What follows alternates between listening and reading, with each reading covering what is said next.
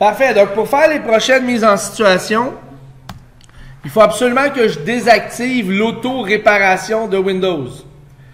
Par défaut, si Boot MGR fonctionne et BCD fonctionne, à une fois que je vais avoir buggé ma machine une première fois, dès qu'il va redémarrer, il va se réparer tout seul grâce à la console de réparation intégrée. Donc, celle qui est de base installée en même temps que Windows maintenant.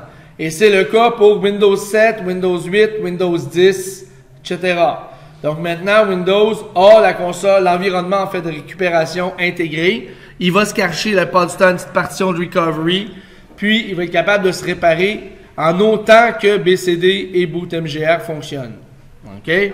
Donc pour éviter qu'il se répare tout seul,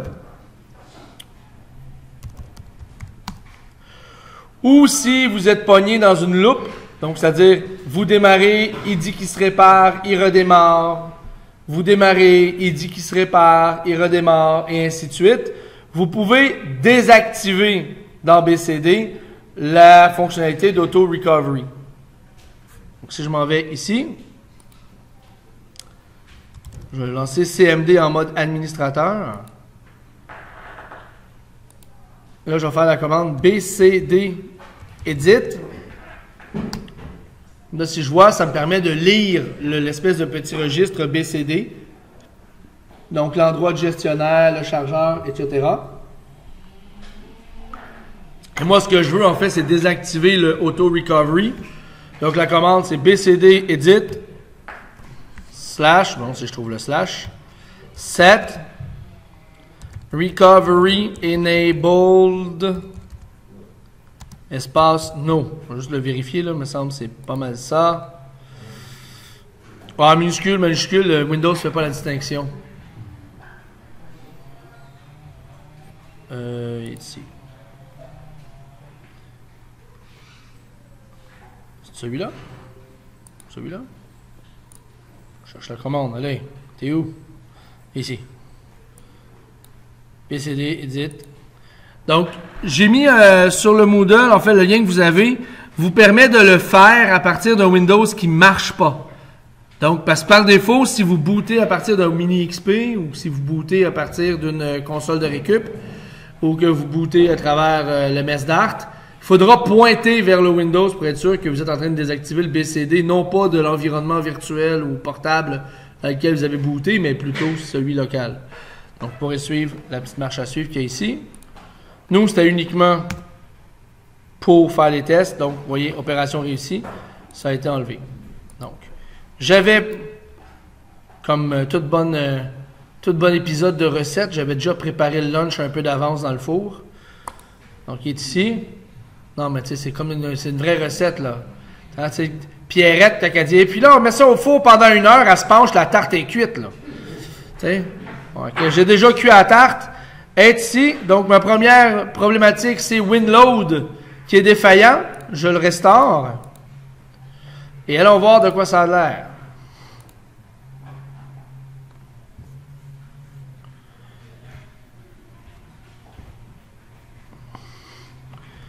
Donc, je démarre à partir du hey, à partir du, du disque. Bam! Donc, on voit que maintenant, si vous regardez en haut, ce n'est plus Windows Boot Manager qui est écrit, c'est gestionnaire de démarrage Windows. C'est un peu bizarre. C'est comme si on était euh, repassé de anglais à français. C'est un peu ce qui se passe, en fait. C'est que là, il a booté le BCD, il est allé lire dans le BCD l'information. Mon Windows était... Là, il a, il a reconnu la langue de mon Windows dans mon installation. Il me l'affiche dans cette langue-là. Alors que le Windows Boot Manager, le message qu'on avait lorsque, par exemple, BCD est endommagé, ben, il l'affichait dans la langue de base de Windows, qui est anglais. Donc, c'est pour ça.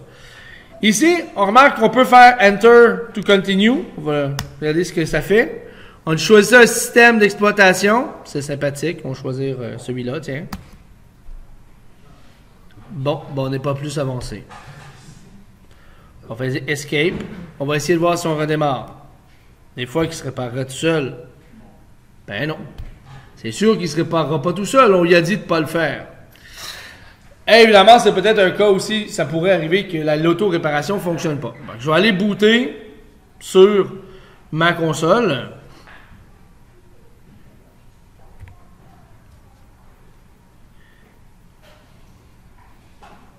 J'allais booter avec le Dart.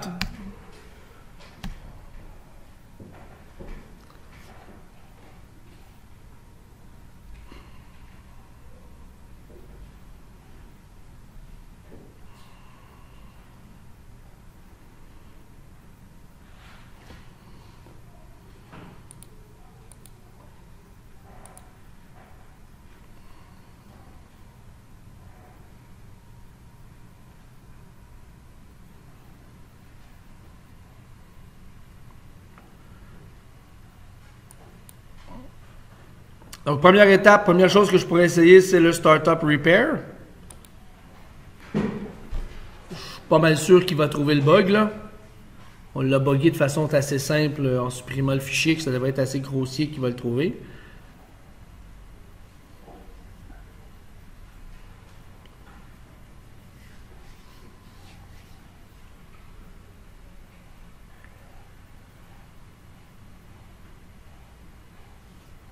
Il prend du temps, donc d'après moi, c'est parce qu'il roule un SFC en arrière.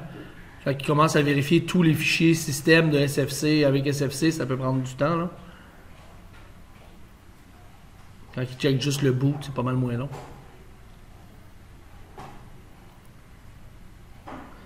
OK, donc lui, il pense qu'il a réglé ça. Si c'était successful, je vais plutôt aller voir le diagnostic. Parce que si, ça, si je redémarre et ça marche toujours pas, moi j'aurais peut-être des indices. Donc, je vais aller regarder.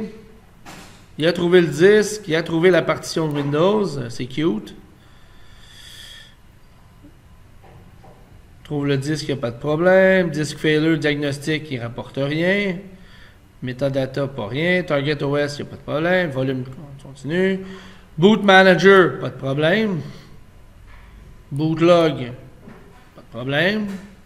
Root Cause Found, Boot Manager failed to find OS loader.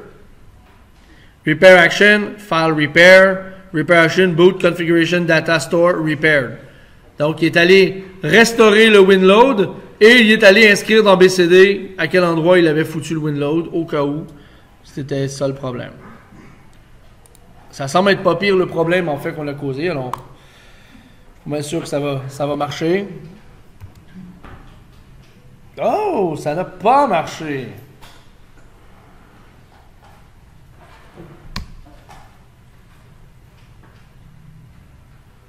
On va essayer. Non. Alors, on va passer au plan B.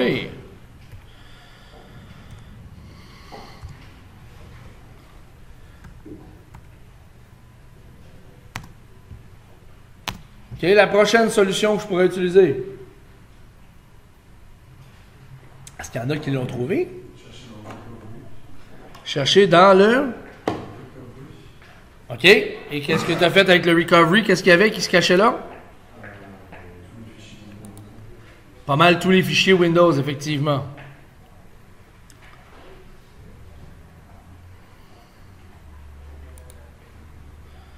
Donc, soit j'y vais avec le command prompt, c'est un peu pénible.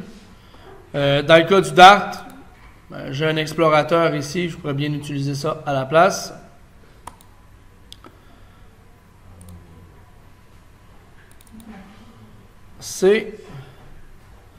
Regardez ça. On a un recovery ici. C'est ici que tu me parles? On rentre dedans. Il arrive. Ah mais là, tu m'as dit que c'est lui là, tu m'as menti?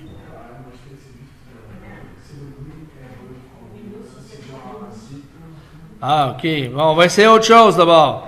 Tu m'as dit Windows? Système 32. Ah, moi, je vous écoute, là. Ah, qui est le bout de disque. qui est une image bout de disque qu'on fait. WIM, là, c'est une image de démarrage. Je vais essayer avec euh, la solution de euh, Sophie qui me dit d'aller dans le système 32 boot. Il est là. D'ailleurs, est-ce que mon boot MGR est ici? Non, malheureusement. Le fun, mais non. Donc, il est ici. Si je le copie, il va où? Il va, juste, il va dans le système 32, dans le parent juste au-dessus.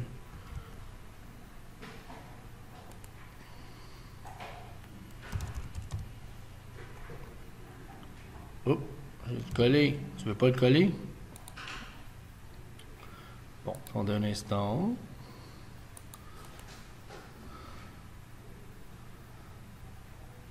Copie tout. C'est pas un vrai explorer, hein?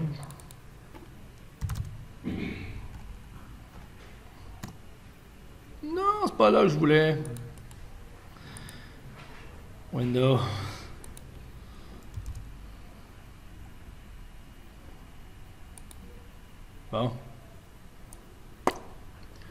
Voyons si ça marche. Je compte sur toi, là, Sophie. Tu m'as dit de faire ça.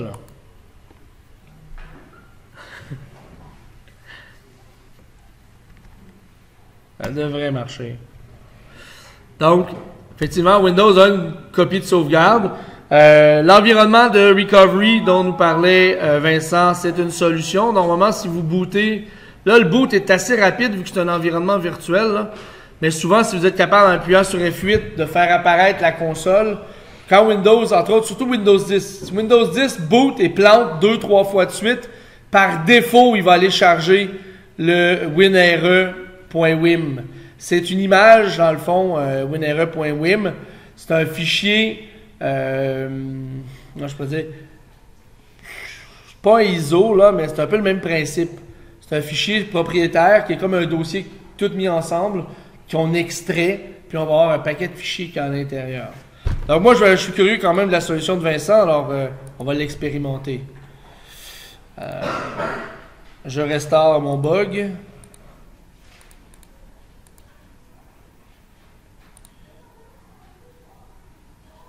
Et je redémarre mon bug.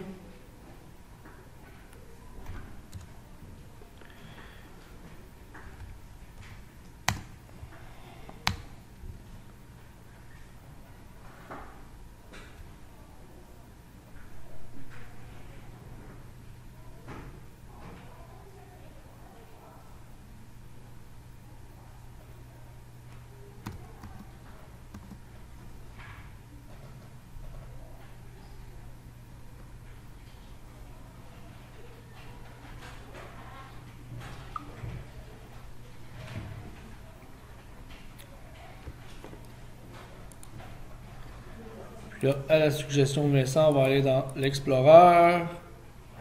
C'est. Tu mets dans Recovery. J'ouvre ça. Et là, je double-clique sur winere.win.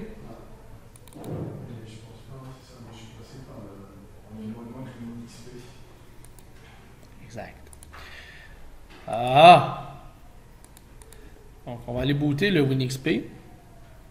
Le mini XP, devrais-je dire.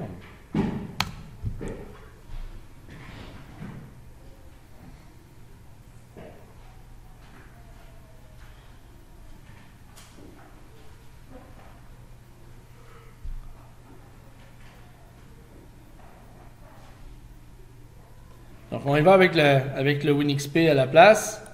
Et là, si on réessaie la même petite manipulation, je vais dans Windows, Recovery. Et là, je prends le winre.wim. Ça rouvre. En réalité, pourquoi ça rouvre? Si vous remarquez ici. C'est 7-zip qui rouvre le fichier. Donc, c'est juste pourquoi vous êtes capable avec Mini XP puis pas avec Dart? C'est qu'en Dart, c'est un fichier qui est compressé, le point .wim. Quand vous faites euh, SFC, quand il fait son auto-réparation lui-même, il va décompresser le point .wim et il va aller récupérer ce qu'il a besoin comme fichier. Quand on le fait avec Windows Mini XP, ben, on est capable de le naviguer, de le, de le chercher. Et là, tu me dirais, on va où?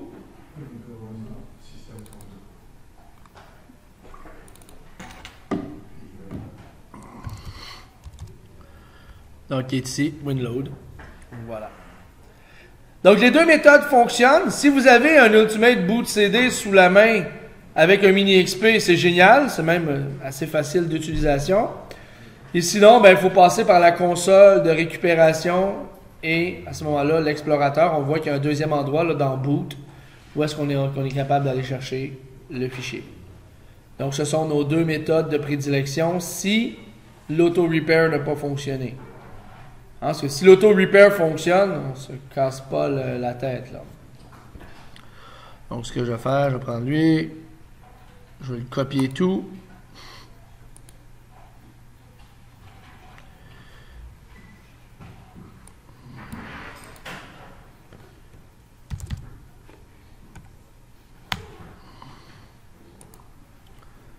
Là, normalement, on ne devrait pas avoir de problème.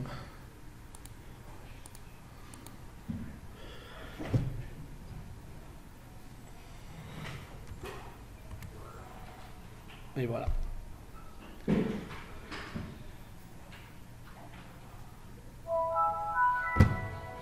C'est réparé, merveilleux.